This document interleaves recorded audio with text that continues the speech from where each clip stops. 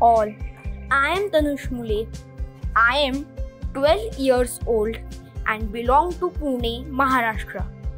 Because of lots of construction happening these days, we hardly get to see birds around us.